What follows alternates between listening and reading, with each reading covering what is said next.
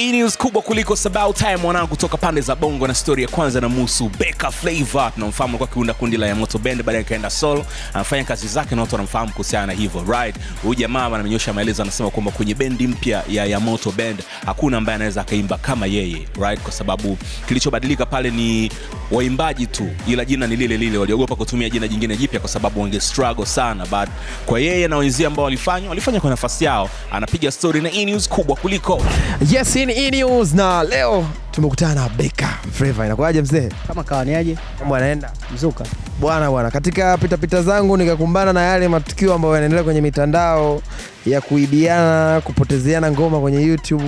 Nikakuta na Beka amekumbana na hilo tukio. Hivi haya matukio haya anayachezesha nani ndugu yangu? Mbona wanataka watupotezee mahela mengi? sijui nani anachezesha lakini ni kweli nyimbo zangu mbili zilishushwa youtube na hazijarudi mpaka leo. Kwa hiyo hapa tunafanya utaratibu tuziupload upya tu basi.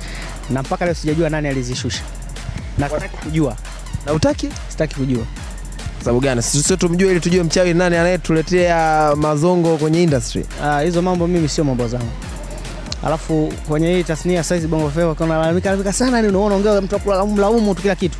Watu wanakuchukulia kama oh, yani umeishia umechoka una mada. Kwa hiyo mimi niliongea kuwataarifu watu fansi wangu ambao wananisapoti kwa hiyo wajue kwamba bwana kuna kitu fulani kitu fulani kimeenda tofauti kwenye kwa msanii wetu fulani. Kwa hiyo niliongea ili watu wajue lakini sikuongea ili kulalamika.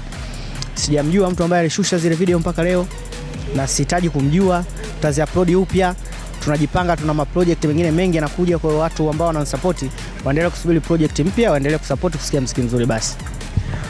Nilikutana na group jipya la Yamoto Bende, jina lile lile, watu tofauti. Kama kule kwenye ya Yamoto Bendi ya kwanza kulikuwa kuna Eno Kibela anaimba Kibezi, kwenye Yamoto Bendi yupo ya sasa hivi. Kama ile ya kule alikuwa anaimba kama Beka, huko nako yupo. Nikasema eh, sasa hii Beka na washikaji waliokuwepo Yamoto Bendi zamani haoni kama wameleta watu ambao wanataka wachukuliwe nafasi zao, kwa sababu kilichokuwa kinafanyika back in the days ndicho ambacho wamekuja kuanza kukifanya tena upya. yeah, uh, mi kwa upande wangu nimeona ni sahihi japokuwa kwenye hiyo ya motobendi mpya hakuna mtu anaimba kama mimi.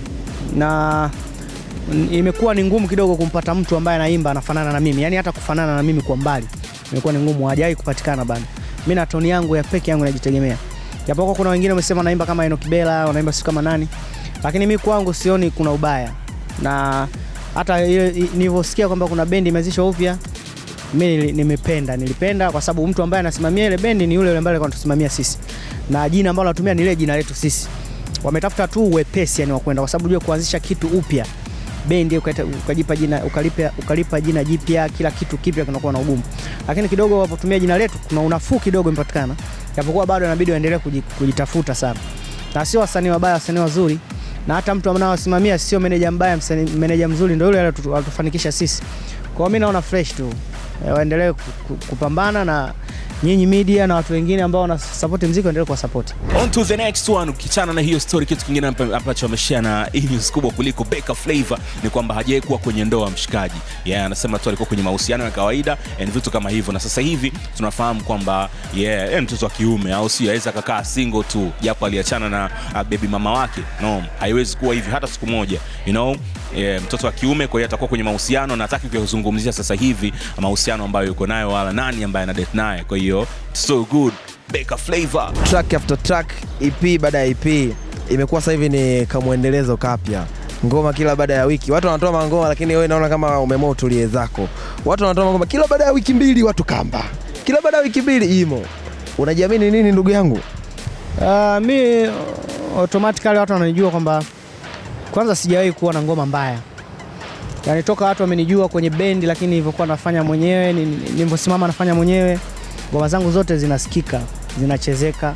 Yani mtu ukisikiza una enjoy unaburudika yani unaona ukutani na kelo kwenye mziki wangu. Kwa hiyo kukaa kwangu kidogo kimya sio na sijakaa kimya sana. Ngoma yangu ya mwisho in love kama official mziki mzuri watu wanaenjoy nao mpaka leo.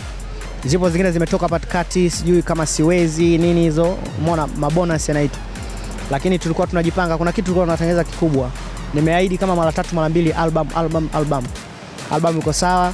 Nadhani after ramadhani mungu akipenda tutawapa mashabiki lakini kila kitu kiko vizuri kwa tunatengeneza mziki mzuri saizi imesema kuna album ma EP manini kwa na mimi nimefanya mziki muda mrefu nipo kwenye mziki lazima niwe na album kwa ajili ya kujitengenezea heshima mimi. Kwa nimefanikisha album tayari, iko tayari asilimia mia, bado vitu vi, yani planning tu za kutoa sasa ndo kwa tunasubiri after Ramadhani kila kitu kitakuwa sawa. Watu wasubiri mualbamu, yani mbonge wa mualbamu, yani mualbamu fulani.